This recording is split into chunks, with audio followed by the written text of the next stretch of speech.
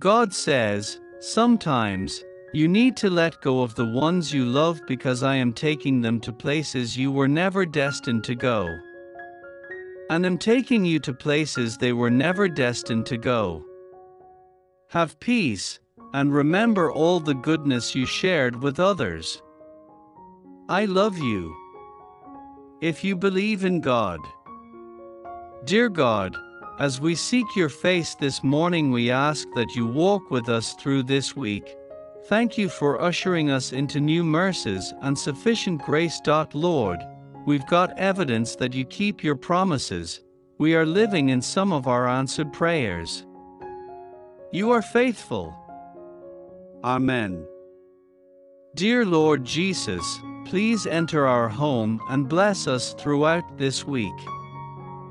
Wherever we may be, help us to overcome the world's temptations, the obstacles on our path, and the injustices of this world.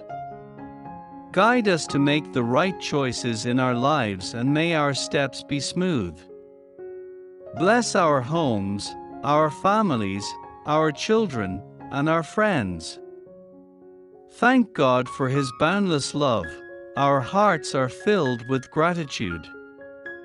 If you feel God is good to you, comment Amen.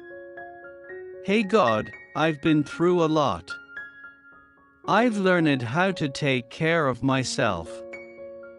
But I've realized some of the things that I've learned can help me survive but not live.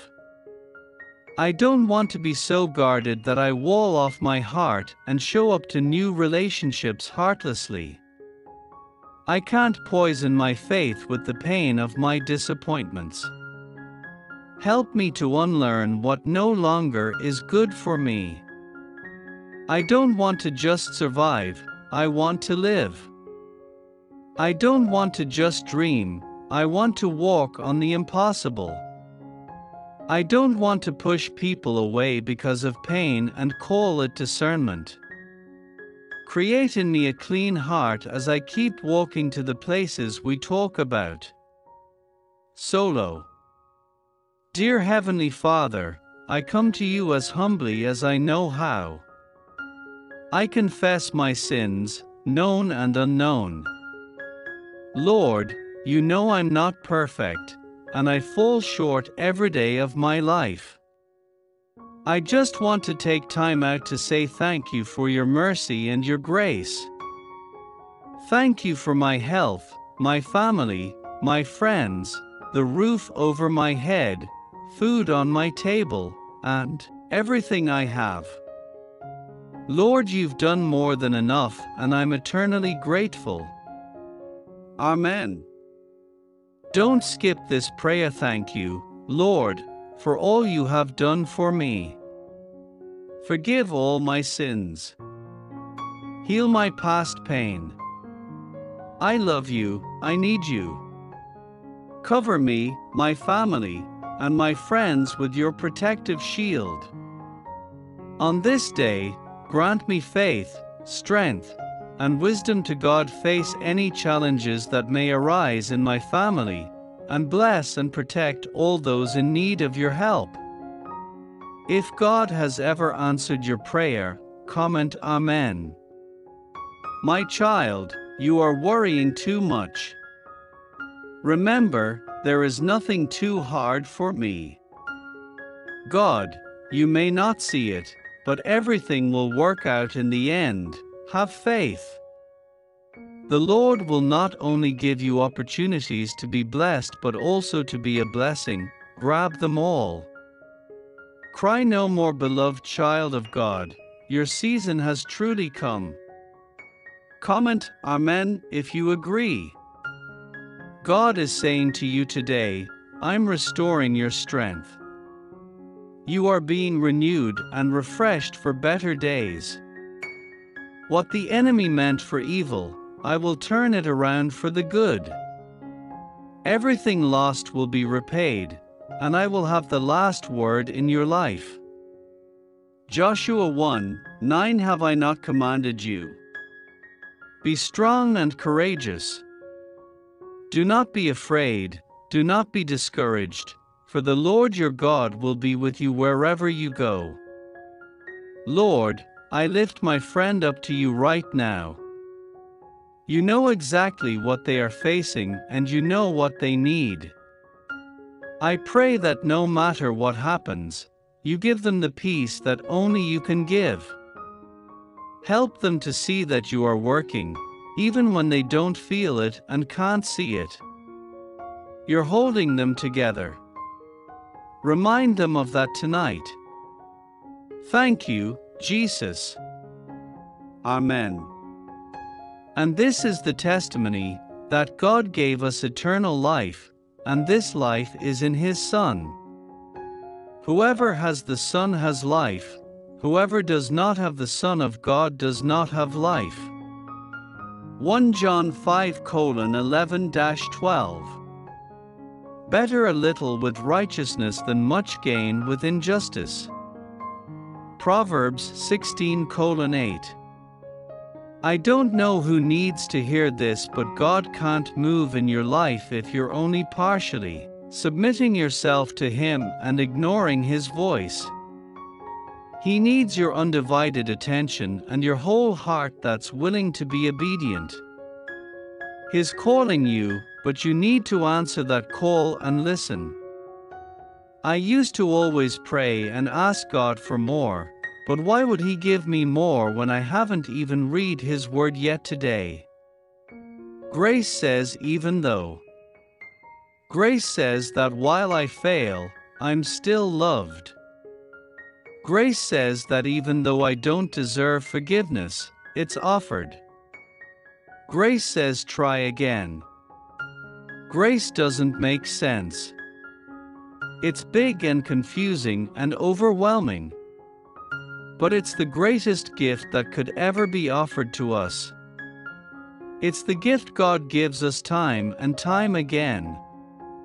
It's the gift that we are asked to give to others. Grace, my friends, is everything. When the extraordinary compassion of God our Savior and His overpowering love suddenly appeared in person, as the brightness of a dawning day, He came to save us. Not because of any virtuous deed that we have done, but only because of His extravagant mercy. Titus 3 colon four dash 5 TPT. Yes, I'm a Christian. Yes, I make hypocritical decisions. Yes, I fail. I stumble. I struggle. I am a mess. But I'm God's mess. And He can turn a mess into a masterpiece.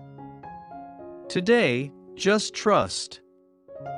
Trust who you are, where you are, and who you're becoming. Trust that God is carefully filtering out aspects of your life in order to bring you to your best and highest self. Trust in your strengths, skills, and abilities. Trust that rejection is protection in disguise, whether you end up seeing it now or later. Slowly trust that page by page, chapter by chapter, the book of your life is becoming the most beautiful masterpiece ever written. Therefore, if anyone is in Christ, the new creation has come, the old has gone, the new is here. 2 Corinthians 5:17 Though we experience every kind of pressure, we're not crushed. At times we don't know what to do, but quitting is not an option. We are persecuted by others, but God has not forsaken us. We may be knocked down, but not out. 2 Corinthians four colon 8 9. Yet through his powerful declaration of acquittal, God freely gives away his righteousness. His gift of love and favor now cascades over us, all because Jesus, the Anointed One, has liberated us from the guilt, punishment, and power of sin. Romans 3:24 Focus on Jesus. Talk to him. be with Him. Pursue Him. In God's perfect timing, He will reveal beautiful pieces of what He has in store for you. There's joy in the stillness of waiting. He knows your future. So don't worry about it. Focus on Him. A prayer for those who have been struggling with their relationship with the Lord. Lord, I pray that you would open my eyes, my ears, and my heart to see, hear, and know what you are speaking to me. I pray that in all seasons of my life, you are the first person I run to. I pray that the more time I spend with you, the less I want to spend away from you. I pray that I will constantly be reminded of how much I need you. We were buried, therefore, with him by baptism into death, in order that, just as Christ was raised from the dead by the glory of the Father, we too might walk in newness of life.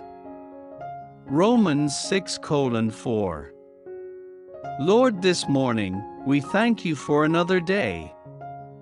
We thank you for waking us up and starting us on our way. We ask that you would guide our steps. Don't allow our emotions to get in the way of what you have for us. Help us to see and remember what you've already done. In Jesus' name we pray. Amen. Since God chose you to be the holy people He loves, you must clothe yourselves with tender hearted mercy, kindness, humility, gentleness, and patience. Make allowance for each other's faults, and forgive anyone who offends you. Remember, the Lord forgave you, so you must forgive others. Colossians 3 12 13 NLT